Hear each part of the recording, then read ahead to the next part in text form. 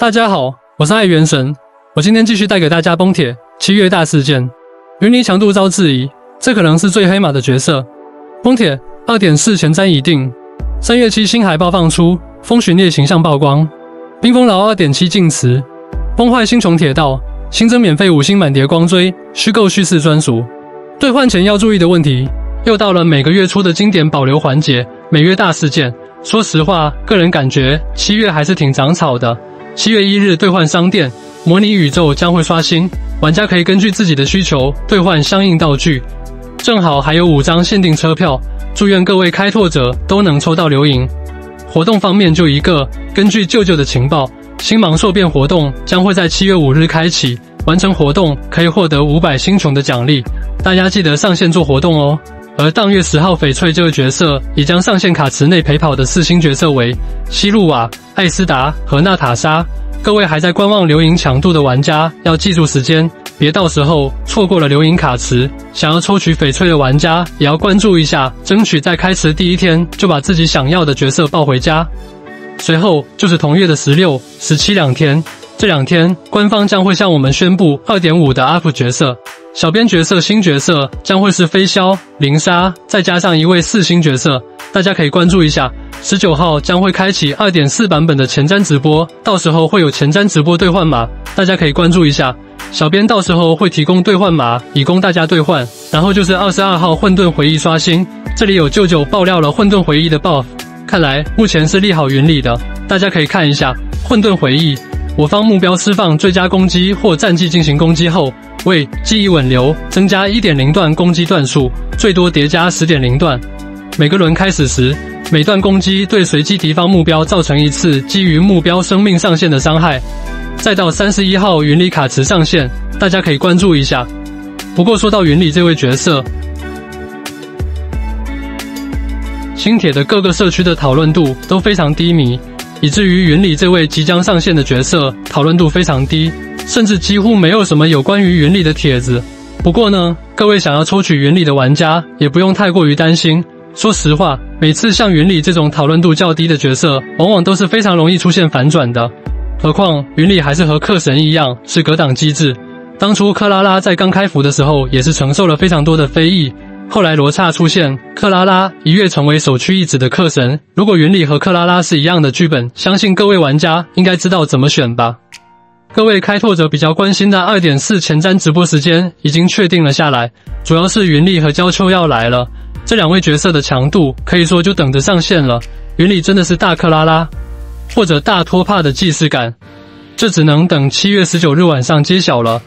然后。焦秋这一角色能否让黄泉起飞，就要看着未来一段时间的技能改动了。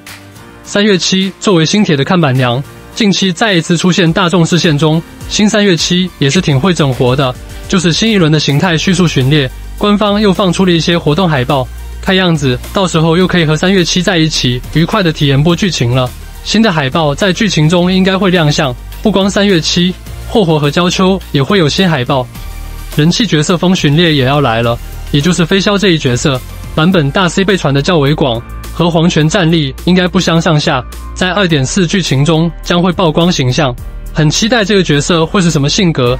七月十六或者十七日时候，要是飞霄在二点五版本中，那就是能看到他官方例会成女还是少女，不少玩家争议不休。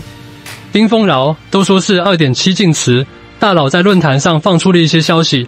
应该就是在匹诺康尼中消失的星期日，不出意外，知更鸟也会限时返场。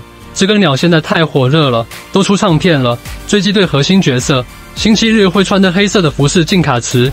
目前论坛上给出的消息就这么多了。前瞻时候会有三百星穹兑换码奖励，到时候可以会分享给各位开拓者。二点三版本更新后，黑塔商店新增了一款全新的光锥不息的演算。玩家可使用黑塔债券兑换该光锥，可使用叠影器直接满金。对于老玩家来说，基本上可算是免费获取的五星光锥，满叠自然也不在话下。那么在兑换之前要注意哪些事？是否适配玩家所拥有的角色？我们一起来看一下。首先就是光锥的选择问题，不惜的演算为自食光锥。目前适配的热门角色有机子、黑塔、银之、警员，但要注意的是。该光锥触发需要一定的条件。我们来看一下光锥技能相关信息。不惜的演算可以提高装备的攻击百分之八。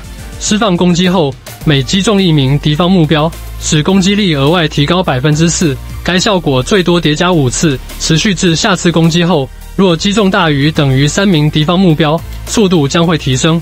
由此可见，想要叠层也需要一定的限制条件，比较适合目前的热门深渊虚构叙事。不过有意思的是，虚构叙事热门角色机子专属光锥银河铁道之夜能够提供的基础功力和伤害加成要比黑塔光锥高。如果和四星的天才们的修器进行对比，满叠状态下可提供的暴击加成会高于黑塔光锥。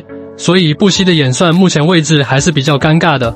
这样来看的话，虽然黑塔光锥适合很多热门智石使用，但还会有更好的上位替代。